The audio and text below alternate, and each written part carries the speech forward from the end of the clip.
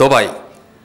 常に時代の最先端にあり世界中の文化が混ざり合いながら世界中へとドアが開いています。どのようにして砂漠の街が世界一の観光都市になりそしてどのようにして世界最高レベルの教育を提供しているのでしょうか。皆さんこんにちは。私は ES ドバイの渡辺亮です。ES ドバイはドバイにある英語専門の語学学校です。ドバイでは人口の85%は外国から来ておりコスモポリタンな雰囲気を楽しむことができます。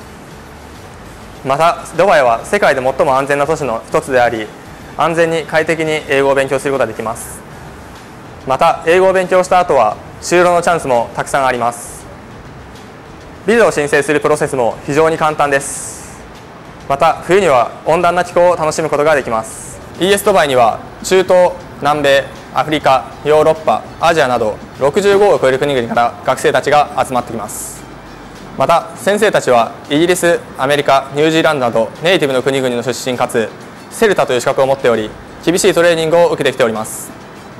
ES ドバイでは General English コース IELTS コース Business English コースまたスピーキングコースがありどれも皆さんの英語力を一段と高めることができます。こちらがカフェエリアになっています。